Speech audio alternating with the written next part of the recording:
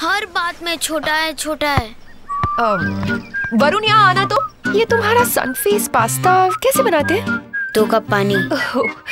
Tea cup. ये? Pasta sauce maker.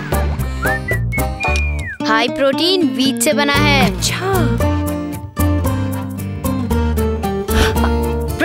Presentation wow yummy Sunfeast pasta treat बनाने के लिए दो कप पानी पास्ता सॉस मेकर और सिर्फ़ आठ minute the quick and easy pasta hmm good job big chef